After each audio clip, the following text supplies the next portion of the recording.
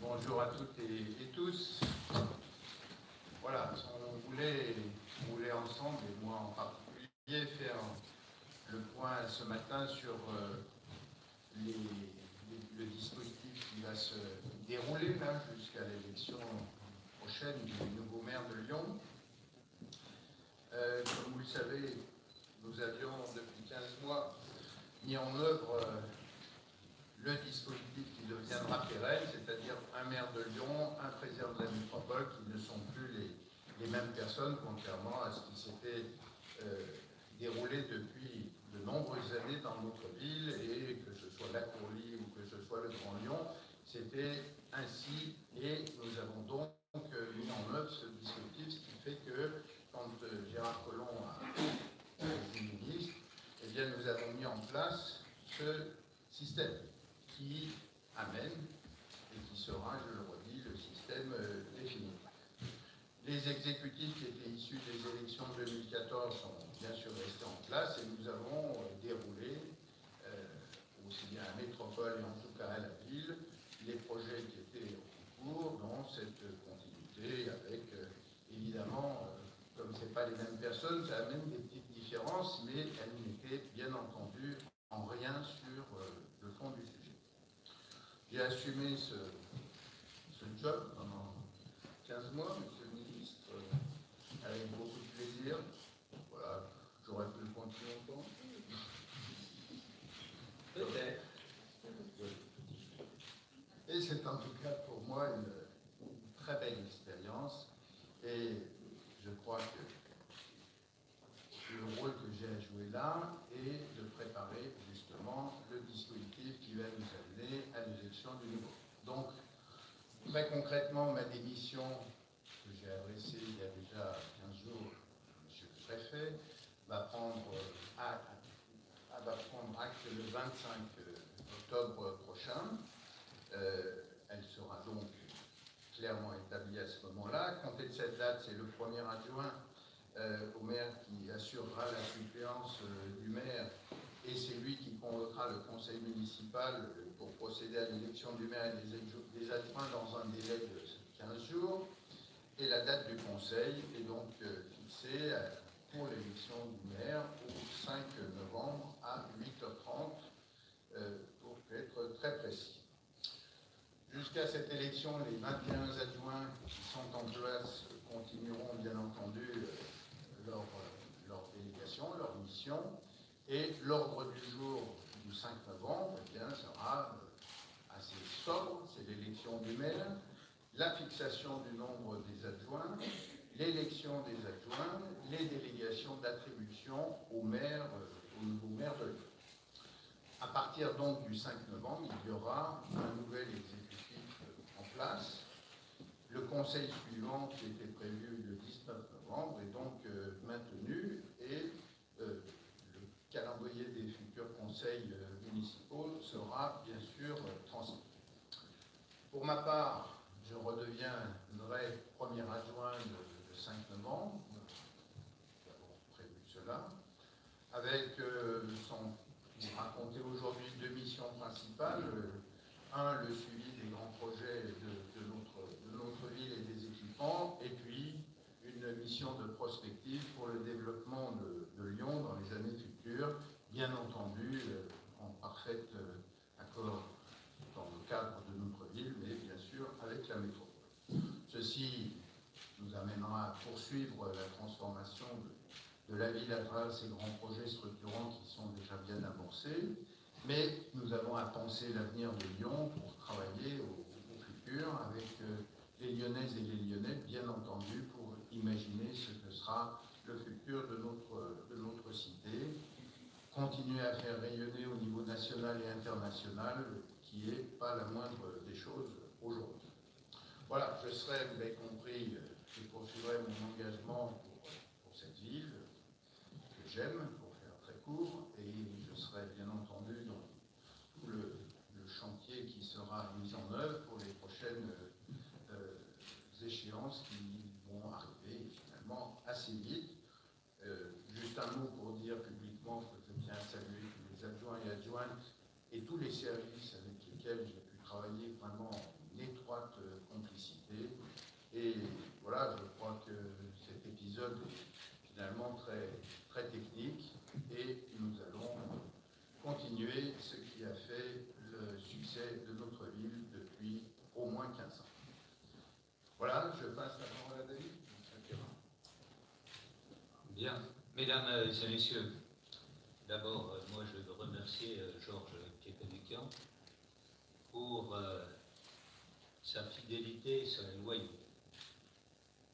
Nous avions convenu ensemble que le passage au ministère de l'Intérieur serait, comme souvent dans ce ministère, impassable. Et donc, euh, je m'engageais parce que je pensais qu'un certain nombre de réformes devaient être faites au niveau national.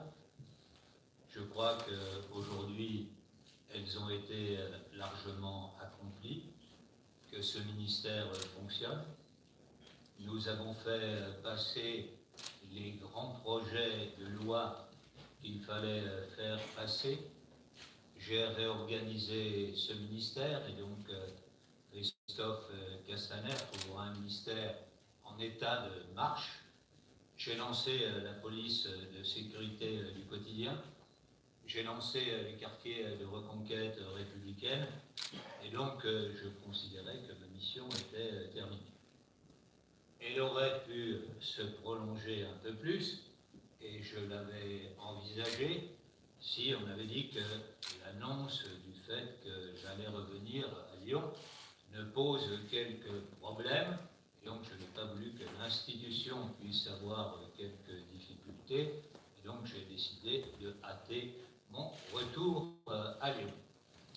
Ce retour euh, aujourd'hui est effectué, vous savez à quel point j'aime cette ville, pour euh, nos amis euh, parisiens, on ne peut pas euh, comprendre quels peuvent être les liens qui attachent un maire à sa ville. C'est quelque chose qui est totalement de l'ordre de la passion. Vous voyez, cette ville, en l'espace de quelques années, on l'a totalement métamorphosée. On parlait souvent de Lyon, il y a 15-20 ans comme une belle endormie, comme repliée euh, sur euh, elle-même, comme connaissant euh, des difficultés dans le domaine économique, dans le domaine social. tout d'un coup, ensemble, avec Georges Kepenekian, avec David Kimmelfeld, l'ensemble des équipes qui ont été à la tête de cette mairie, nous l'avons tout d'un coup totalement changé. Je crois que Aujourd'hui, euh, les Lyonnais euh, sont fiers de faire euh, visiter cette ville à leurs amis, parce qu'elle a beaucoup changé, parce qu'elle s'est embellie, parce que, d'un point de vue économique, c'est une de celles qui est les plus dynamiques en Europe, parce que nous avons réussi à construire une attractivité internationale qu'au quatre bouts de la planète, Lyon est aujourd'hui euh, connue. Parce que d'un point de vue euh, social, nous avons euh, réussi à créer un équilibre dans cette ville. Et ce que nous faisons, par exemple, dans des quartiers comme la Duchère, Mermoz, mais mettons, remettons un certain nombre de couches moyennes dans des quartiers comme la Confluence, où nous euh, essayons de faire en sorte qu'il y ait 35-40% de logements sociaux est un modèle euh, pour beaucoup. Et croyez-moi, quand je parlais de quartier de reconquête républicaine, c'est parce que j'ai vu un certain nombre d'agglomérations qui étaient en grande difficulté. Et donc, ce que nous avons fait, euh, nous à Lyon, est quelque chose d'exceptionnel. En même temps, sur une troisième euh, thématique, parce qu'il y en a toujours trois que nous essayons euh, de développer, à la fois la dynamique euh, économique, la justice sociale et l'aspect environnemental. Lorsque l'on parle des problèmes du climat aujourd'hui, nouveaux défis que nous aurons à, relever, cela fait quelque temps déjà à Lyon que nous le relevons. Nous le relevons au travers des nouveaux quartiers que nous construisons. Lorsque vous allez à la confluence et que vous voyez les premiers immeubles à énergie euh, positive, demain c'est tout un quartier. C'est plusieurs quartiers dans la ville que nous ferons de cette euh, manière. Lorsque nous avons fait les rives de Saône, les berges du Rhône, euh, nous sommes effectivement dans une nouvelle conception de la ville. Le mariage entre ville et nature nous le réalisons chaque jour sur Lyon. Et donc, nous avons, je crois, ensemble réalisé un certain nombre de travaux qui ont fait que la ville a changé pour le bonheur de chacun et de chacune des Lyonnais. Aujourd'hui, il faut passer à une autre étape, parce que rien n'est jamais acquis.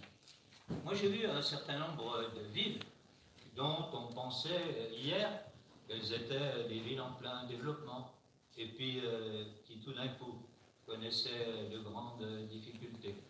Et je voyais les maires, en tant que ministre de l'Intérieur, euh, dire venez nous donner un coup de main. Parce qu'effectivement, il y a un certain nombre de problèmes que nous n'avons pas pris en compte. Parce que le changement dans les mutations euh, technologiques fait que ce qui paraissait acquis, eh bien, tout d'un coup est remis en cause. Parce que du point de vue euh, de la sécurité, parce que peut-être euh, nous n'avons pas réagi à un certain moment, nous met en grande difficulté. Et l'on voit dans ces villes les entreprises partir. On voit l'immobilier baisser. On voit un certain nombre de fonctionnaires qui refusent les mutations dans ces villes parce qu'ils pensent que l'on n'y vit pas bien. Alors oui, il faut euh, d'abord pouvoir faire en sorte que ce que nous avons fait puisse se pérenniser dans le futur. Puis nous avons euh, aujourd'hui de nouveaux euh, défis à relever. On sait bien par exemple que tout ce qui tourne, et Georges en est un spécialiste, autour des problèmes de santé, de qualité de l'air, est aujourd'hui devenu fondamental pour nos concitoyens. J'ai vu les deux manifestations qui euh, avaient lieu euh, à Lyon. Certes, un certain nombre euh, de débordements inadmissibles, mais derrière cela, il y a de vrais problèmes qui effectivement se posent. Se trouve par exemple que lorsque j'étais ministre de l'Intérieur, sur Notre-Dame-des-Landes, nous avons travaillé très étroitement avec Nicolas Hulot, avec euh, la ministre des Transports pour euh, faire en sorte les véritables problématiques et une situation qui n'avait pas été réglée depuis 40 euh, ans a été réglée. Et nous avons fait en sorte que celles et ceux qui avaient un vrai projet d'avenir puissent le réaliser. Et puis que ceux qui étaient là pour des causes différentes n'y soient plus. Je crois que c'est comme cela. Il peut y avoir chaque fois des débordements. regardez quelle est la véritable cause de la mobilisation. Et la mobilisation, euh, on le sait, elle est autour euh, de nouveaux sujets. Le climat en est un des premiers. Il se trouve que nous avons été ensemble, souvent en Chine, que pendant euh, des années, à Pékin, on ne voyait plus le ciel. Et on comprend pourquoi la Chine s'est engagée si fortement dans la lutte euh, contre le changement euh, climatique, parce que c'était devenu pour tous totalement invivable, parce que l'on confinait les enfants dans des chambres pendant 15 jours, 3 semaines, sans qu'ils puissent sortir dans la rue. Alors oui, nous allons prendre ces problèmes à bras le corps. Nous allons le faire euh, au travers euh, des euh, changements technologiques. L'innovation, et Lyon, comme vous le savez, est une ville de l'intelligence. L'innovation, comme nous le faisons à la Confluence, va nous permettre de changer les choses. Il y a ces problèmes de santé dans la ville. Nous avons un autre défi important, mais il participe du même ordre, à relever sur les mobilités. Parce que aujourd'hui, évidemment, la ville euh, ne peut plus être et ne sera plus comme elle était euh, hier. On voit bien, par exemple, que euh, lorsque nous avons des villes qui sont totalement asphyxiées par la circulation automobile, nous ne pouvons pas continuer dans la même voie. Nous avons la chance ici d'avoir un syndicat des transports extrêmement peu endetté parce que nous l'avons bien géré par euh, le passé. La dette euh, ne dépasse pas deux années de fonctionnement. Et donc, nous investissions 1 milliard 100 millions dans chaque mandat. Dans le prochain, on pourra montrer à 1 milliard 900 millions pour développer partout, à l'ouest, à l'est, au nord, où nous avons un certain nombre de difficultés, de nouveaux moyens de transport, parce que nous utiliserons les technologies euh, nouvelles. Il se trouve que lors euh, du sommet de, Versailles, j'étais euh, assis à côté lorsque nous recevions le futur empereur du Japon. J'étais à côté du PDG de Renault-Nissan. Et il m'expliquait la façon dont il travaillait sur la mobilité intelligente. Ces systèmes de minibus attachés les uns aux autres, qui peuvent faire les derniers kilomètres. Et il disait, je disais, c'est pour quand? Il me disait, non, c'est pas pour 2040, 2050, c'est pour dans 10 ans. Repenser la ville à l'aune des changements technologiques de demain. Il faut toujours être dans l'innovation. Voilà, je crois que ce sont les projets que nous voulons euh, porter ensemble et nous les porterons à trois. Nous les porterons à trois dans les nouvelles modalités qui existent. Vous savez que lorsque nous avons euh, créé la métropole de Lyon, nous avons assumé un choix qui était difficile à faire. C'était que le maire de la ville-centre et le président de la métropole ne soient plus les mêmes.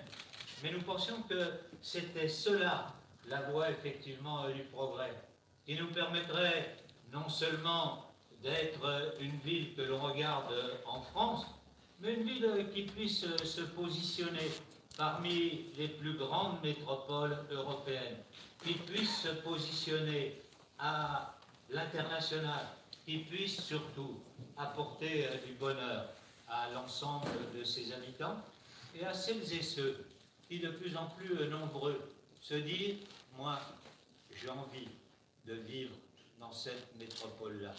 Vous voyez, lorsque je regarde, j'interroge un certain nombre de Parisiens, ils se disent, finalement, moi j'aimerais bien euh, venir euh, vivre dans cette ville, parce que l'on y vit bien.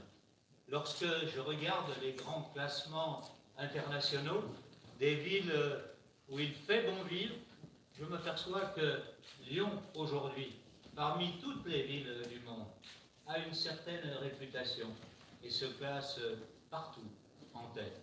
Alors voilà, c'est cela que nous allons essayer de poursuivre et nous le ferons, quoi qu'en dise la rumeur publique, tous ensemble, de manière unie, de manière rassemblée. Voilà. Merci. Quelques, quelques mots. D'abord, euh, pour remercier Jean-Philippe Pénican de, associé avec Gérard Collomb à cette, euh, à cette conférence de presse pour euh, deux raisons. La première, euh, c'est parce que je préside cette métropole depuis juillet 2017, avec, et ça a été évoqué, la passion pour la ville, la passion pour la métropole, la même dynamique, la même envie d'avancer, d'aller plus loin et quelquefois d'aller toujours plus vite. Et puis, deux raisons, parce que cette métropole, la première, c'est parce que cette métropole, elle est aujourd'hui et depuis euh, janvier 2015, euh, avec tellement, tellement de compétences dans les mains que finalement, euh, à chaque fois qu'une ville, une commune décide un engagement, décide une politique publique, cette métropole est à ses côtés, soit parce qu'elle accompagne cette politique, soit quelquefois parce qu'elle en est le chef de file. Alors je ne veux pas donner les exemples, mais finalement cette métropole, elle accompagne les habitants depuis la naissance jusqu'au vieillissement, voire jusqu'à la dépendance, avec des compétences, la protection maternelle la protection de l'enfance, les collèges, le soin aux plus, au plus, au plus, au plus fragiles, les, le handicap, enfin l'ensemble de ce qui constitue finalement le quotidien et la proximité de nos habitants, quelle que soit la commune dans laquelle ils habitent. Et puis bien sûr, remarier à nos compétences que nous avions depuis euh, fort longtemps, et bien évidemment ces compétences très urbaines, mais aussi l'économie, mais aussi le logement, euh, mais aussi la mobilité et les transports. Et Gérard Collomb en a fait, euh, on a fait l'écho tout de suite. Donc c'était la première raison, c'est bien sûr euh, ce lien étroit qu'on doit maintenir entre les villes et la métropole. Et puis la deuxième chose, c'est le caractère particulier de cette ville-là, de Lyon. Lyon qui est euh, la ville euh, la plus peuplée, qui est la ville ville-centre, qui est la ville où finalement se concentrent beaucoup de politiques publiques, beaucoup de projets. Et donc, à ce titre-là, il est bien évident que la relation entre la métropole et la ville de Lyon une relation toute particulière qui n'a pas d'équivalent ailleurs, eu égard à la taille et au nombre de projets qui se développent sur cette, sur cette ville. Et puis, euh, Gérard Collomb l'a expliqué, nous partageons bien évidemment euh, des enjeux euh, et des, objectifs importants. Les enjeux, ils ont été rappelés, et je j'ai souvent l'occasion de, le dire à chaque intervention, et, souvent plusieurs fois dans une même journée. Je ne m'étais pas rendu compte d'ailleurs, monsieur le maire et, monsieur le ministre, à quel, point tous les jours on peut répéter quelquefois la même chose, mais ça permet d'être peut-être un peu plus persuasif. La première chose, c'est de dire que cette métropole, elle est attractive, personne ne le conteste. Elle est attractive, elle attire beaucoup d'entreprises, elle attire beaucoup d'emplois. Et pour qu'elle reste attractive, qu'elle continue à cette attractivité, il faut qu'elle euh, soit euh, équilibrée et la plus attentive aussi aux plus fragiles. Les plus fragiles étant euh, bien évidemment quelquefois les plus démunis, mais quelquefois aussi les plus jeunes les plus vieux d'entre nous. Et nous avons toutes ces politiques publiques en main pour pouvoir créer cette dynamique qui permet d'avoir cette attention-là. Finalement, pour avoir euh, une métropole qui soit comme une ville, une métropole qui attire et une, métropole qui protège. Une métropole qui attire, eh bien ma foi, c'est euh, l'effort que nous faisons depuis longtemps d'ailleurs euh, pour attirer des entreprises, pour attirer des activités. Et une métropole qui protège, c'est une métropole effectivement qui est attentive aux plus fragiles, mais c'est une métropole aussi qui répond, comme l'a dit Gérard Collomb, notamment à l'urgence climatique qui devient aujourd'hui quelque chose de prégnant. Bien évidemment, les manifestations et la, mobilisation citoyenne doit nous amener à réfléchir et doit nous amener à aller sans doute plus vite, aller plus loin et à faire effectivement un certain nombre de choix.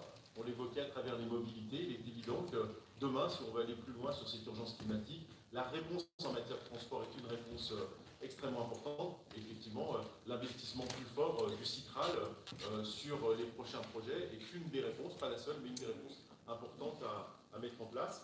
Quelle méthode pour travailler ensemble? Eh bien, la méthode que nous avons déjà euh, utilisé avec euh, Georges Kepenikian, parce que finalement, vous l'avez dit, on, a finalement euh, essuyé en quelque sorte, d'une certaine façon, les plâtres qui seront ceux que nous mettrons en 2020 avec un maire de Lyon et un président de la métropole qui ne sont pas les mêmes personnes. Et donc nous avions mis en place cette, ce process de collaboration et nous allons le continuer dans la même dynamique. Nous allons sans doute l'intensifier parce que, bien d'abord, nous avons une pratique aujourd'hui de cette, de cette collaboration étroite. Et puis bien sûr, les échéances vont arriver. Il s'agira aussi de bâtir un projet, de bâtir un projet dans cet esprit-là, dans cet esprit de l'attractivité, bien évidemment, de cette métropole et d'une métropole attentive. Et donc, euh, on va intensifier ces processus, ces process. Il faut le faire aussi, euh, je crois, euh, et Gérard Collomb évoquait le nombre de manifestants sur l'urgence climatique. Cela doit nous amener à associer de plus en plus nos citoyens, nos concitoyens sur l'ensemble de nos politiques publiques. Et c'est l'enjeu que nous avons c'est cette collaboration entre la ville de Lyon et bien sûr l'ensemble des communes de, la métropole, parce que comme président de la métropole, il faut être attentif aussi à l'ensemble des territoires. Et d'ailleurs, la relation entre tous les territoires est quelque chose qui sera, à mon sens, crucial dans les prochaines années. Il n'y aura pas euh, une métropole qui va bien, une métropole qui va mal, mais une métropole qui fonctionne en parfaite symbiose avec une équité territoriale. Et c'est l'enjeu qui est devant nous, et cet enjeu, on doit le bâtir tous ensemble, avec euh, bien évidemment ceux qui sont table, mais je l'espère en tout cas avec beaucoup encore d'autres, parce qu'à trois, ça ne suffira pas. On aura aussi un petit problème de parité. Je vous remercie. Très bien. Alors, quelques questions Ça va être très synthétique et on finira par des interviews radio, télé.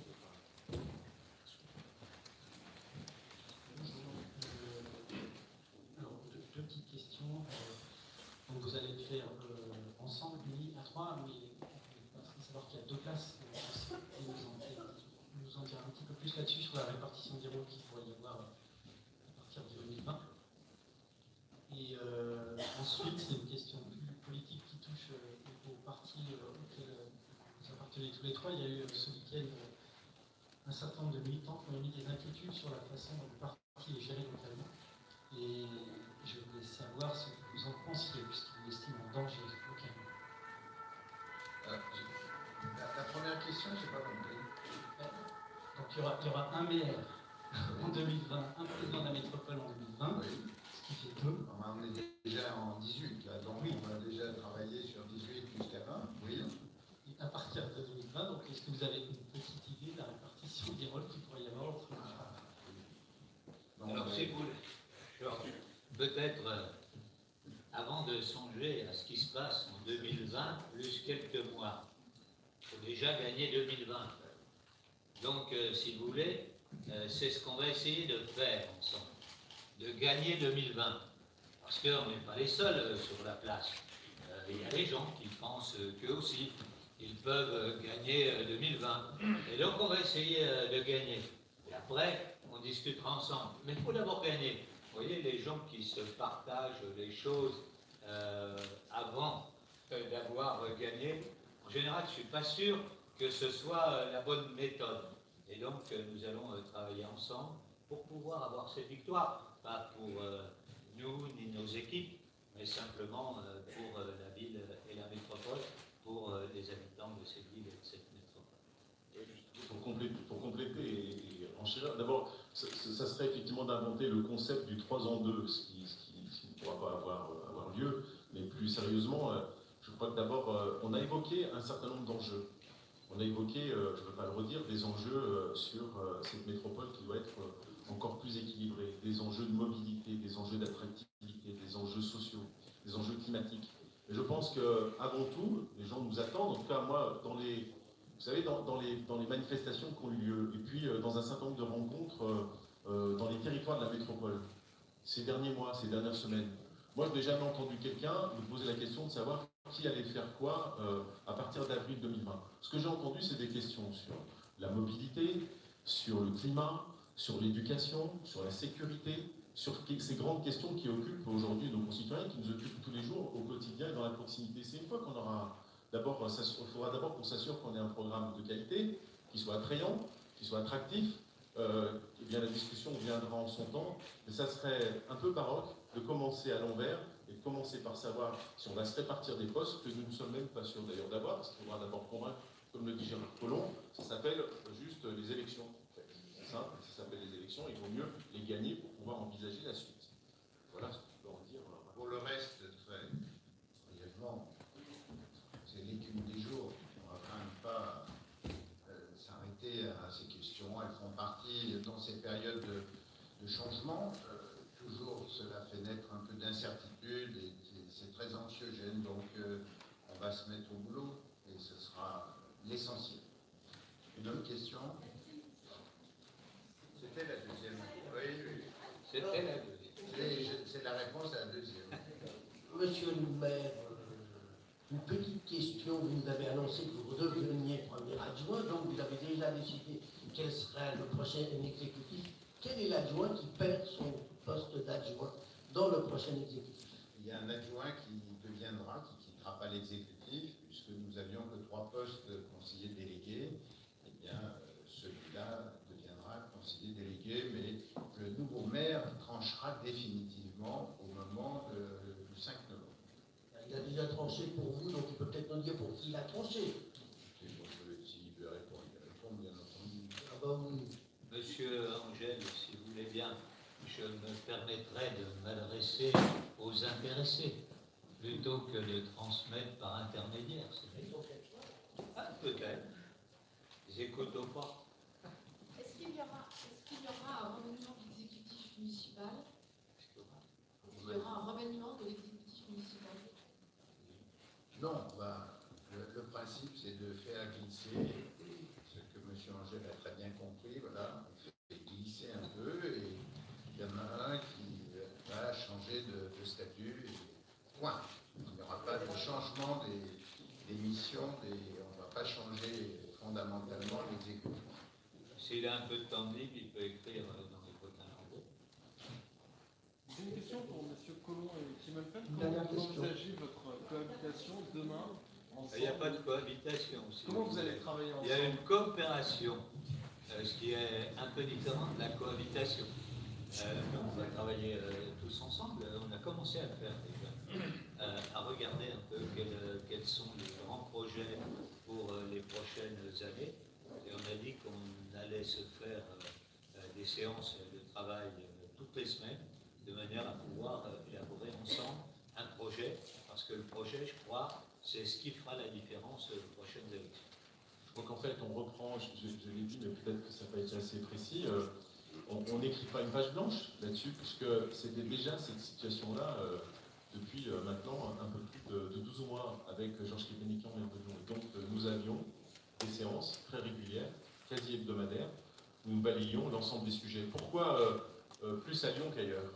Tout simplement, euh, je l'ai dit, par euh, la taille même de cette ville, et donc par le nombre de projets, par l'intensité des projets, euh, il est nécessaire de voir plus souvent, et c'est pas discourtois avec les maires d'autres communes, le maire de Lyon, son exécutif, et pas simplement le maire de Lyon, d'ailleurs l'ensemble de ses élus, et pas simplement d'ailleurs le président de la métropole avec le maire de Lyon, c'est pas ce face à face là ou ce côte à côte là, c'est aussi l'ensemble de celles et ceux qui composent cet exécutif de la métropole. Je souhaite j'ai toujours souhaité, et encore une fois euh, aujourd'hui euh, tout autant, que l'ensemble de nos vice-présidents, de nos conseillers délégués euh, soient aussi à la manœuvre avec leurs homologues dans les villes, et donc ils voient plus souvent euh, effectivement euh, euh, leurs homologues dans la ville de Lyon parce qu'il y a plus de sujets et il y a plus de politiques publiques. Quand on met par exemple en place ensemble euh, une expérimentation qui est une belle expérimentation du rapprochement des maisons de la métropole et des CCS, ça se fait à Lyon, parce que la taille critique de Lyon permet quelque part de montrer cette dynamique-là et de la dupliquer ensuite ailleurs, ça donne plus de crédibilité, tout comme d'ailleurs des dispositifs gouvernementaux, c'est bien qu'ils viennent ici s'appuyer sur cette métropole avec une taille critique d'un million trois, parce que si ça réussit ici, ça peut réussir ailleurs, et c'est de la même façon, si ça réussit à Lyon, ça peut aussi réussir ailleurs. Monsieur pourquoi vous ne reprenez pas la, la métropole La loi vous permet de cumuler euh, les métropoles. pourquoi. Vous vous vous avez peur de l'issue du scrutin si vous vous présentiez? On vient, de bien, ces questions, on pourrait les développer, mais on, on a expliqué qu'on a mis en place un nouveau dispositif. On a, on décidé, je pense, tous ensemble de ne pas le modifier. C'est-à-dire, euh, si, on avait relancé euh, pour que le maire de Lyon soit en même temps euh, président de la métropole, on, on- on revenait un cran en arrière pour repartir dans un nouveau dispositif. Donc, est-ce qu'on peut euh, s'entendre de manière aussi simple que ce que l'on dit là. Une dernière question que souhaite poser le progrès.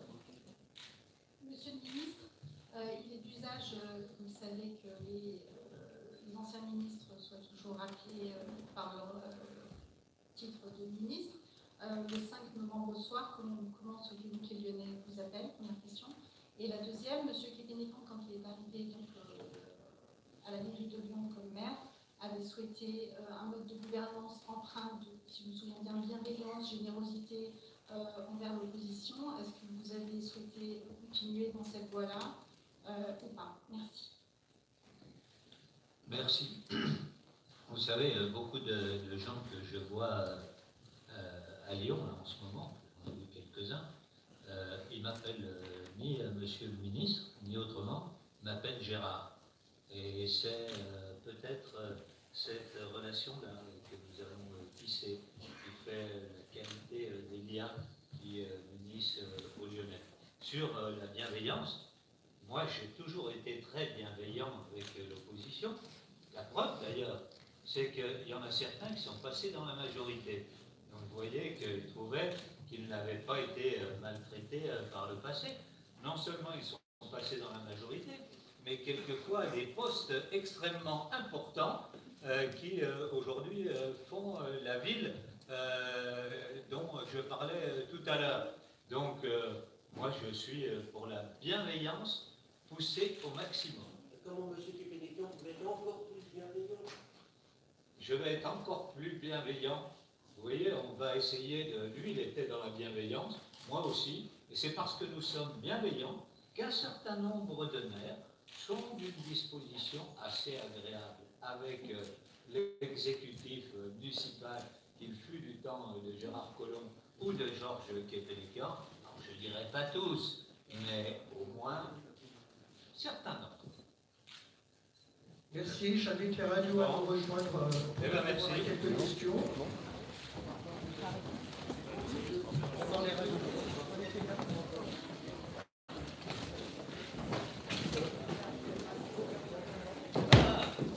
Le quotidien.